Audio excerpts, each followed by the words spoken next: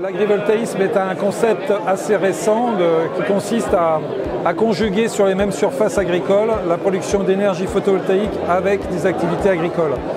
Jusqu'à 2019, euh, le photovoltaïsme était cantonné aux zones de friches industrielles, était interdit en déploiement sur les terres agricoles.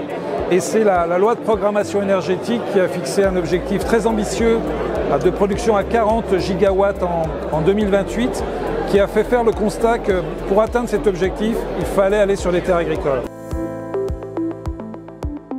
Alors bien sûr, les enjeux euh, professionnels autour de l'agrivoltaïsme, c'est de garder la fonction agricole des sols sur lesquels il s'installe et de maintenir ce bon équilibre pour que la production d'énergie, avec sa rente financière, ne vienne pas trop concurrencer les productions agricoles au risque de les faire disparaître par manque d'intérêt par rapport à la rente financière énergétique.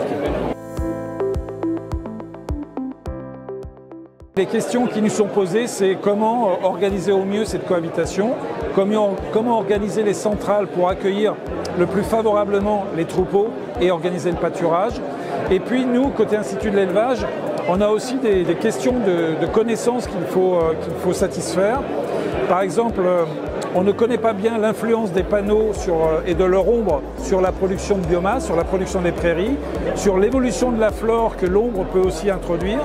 Et puis il y a tout le champ des impacts zootechniques sur les animaux qu'on ne connaît pas.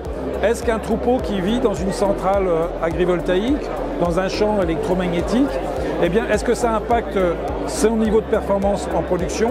Est-ce que ça impacte la reproduction du troupeau? Comment ça joue sur son bien-être?